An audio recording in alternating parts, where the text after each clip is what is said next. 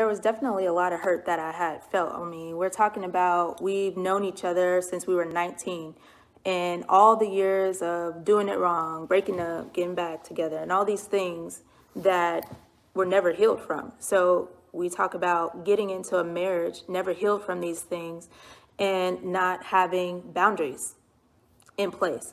So a combination of all these things, of course, leads to hurt. But with that, we have to understand as a people that these things lead to bitter roots. They, they lead to, to hurt. They spill over into other aspects and areas of our lives. Mm.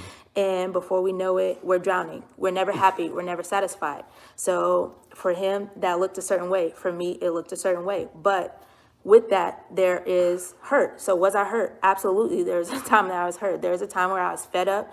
I I mean, everything that you could think of, I did. I did. I yelled at him. I cussed at him. I called him out of his name. I left these things, and none of that. None of that was helpful.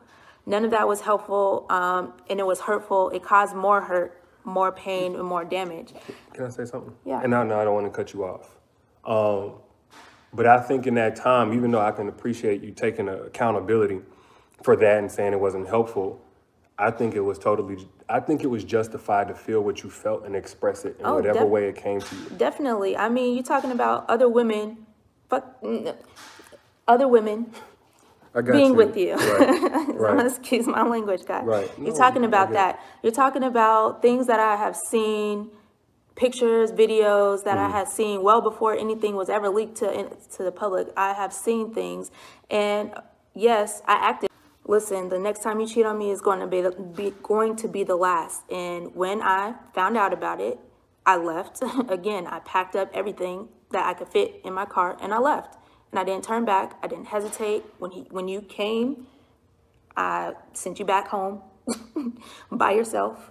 And I told you, listen, do what you need to do. I'm going to do what I need to do. So um, why didn't I leave? Well, I actually did leave, and I stayed gone for almost all of last year. And filed for divorce. And I filed for divorce. Actually, I did file for divorce. Um, I had the best of the best, whatever, but I filed for divorce. I said, I'm not coming back. I told you before we got married, the next time you do it, I'm going to leave. And that's what I did. I left and I stayed gone. And the only reason I even entertained coming back and then now am back full fledged is because there was an actual shift in your mentality and how you how you just dealt with me.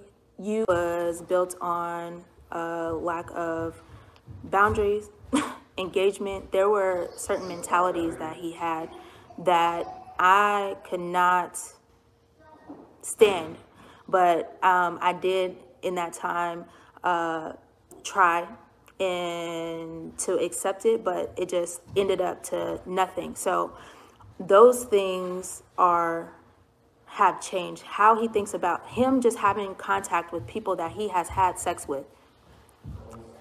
Uh, being friends with them still on Instagram, Facebook, YouTube. Unacceptable. Unacceptable. And now he understands why that is an issue. And it's not something that I had to force on him. I just packed up and left. I said, enough is enough. And so, with that, in this new marriage, he has completely continued staying to keeping those things eliminated, letting me have access to everything. And again, allowing me to speak for myself. Okay, so I don't need him to speak for me or any uh, any of these things. So with all of these things combined together, is different. His engagement in just our personal time, our time with our our family, all of these things are different.